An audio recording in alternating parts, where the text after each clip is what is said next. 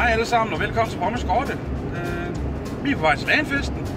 Vi skal op og hygge os sammen med Brian og Gex og Fause og Fjellefar og den helvedes masse andre, der dukker op. Jeg tror, Dyson er der. Ja, ja, ja, ja. Så det er der, vi er på vej op til nu. Øh, klokken den er ved at være 6 om aftenen. De åbner her klokken 21, så jeg tænkte, det var nok på tide, jeg tog afsted. Så lad os da komme op til dagen festen og få en skide, nogle skide hyggelige dage og sammen med de andre hoveder og, og se, hvad der sker.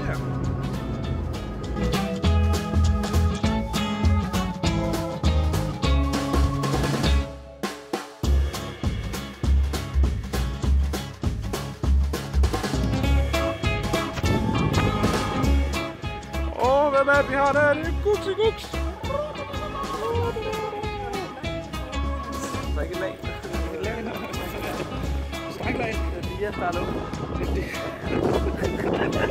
Så er vi øh, ankommet til Lagenfesten, og der, der sker lidt af hver her. Altså lige nu der kan I se heroppe bag ved mig herovre, der har vi øh, Gex, han sidder der, Da- øh, han sidder ved siden af, og vi har Brian, og vi har Drastrup, der står bag ved mig herovre.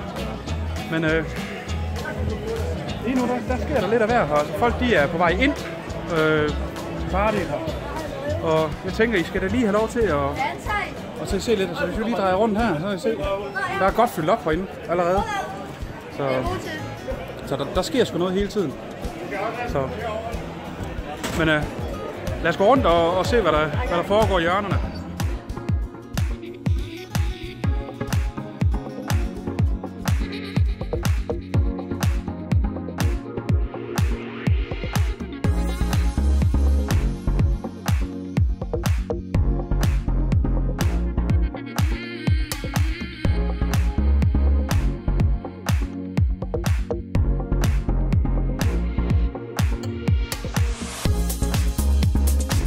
Ja, der har vi så lige de to nye bedste venner.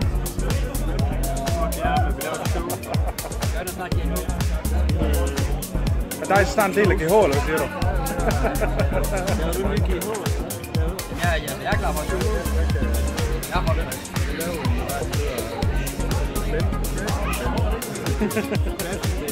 Der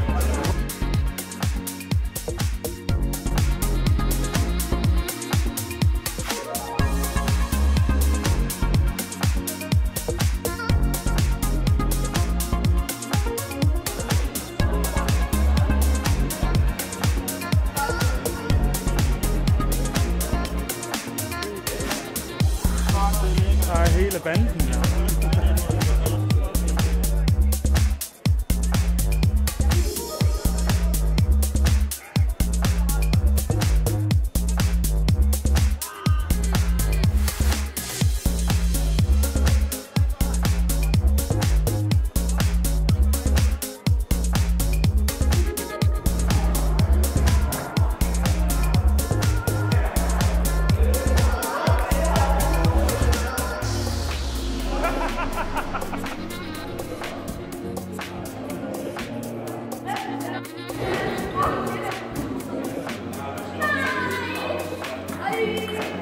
Hvad synes jeg om Veteranfesten? Hvad synes jeg om Veteranfesten? Skide godt.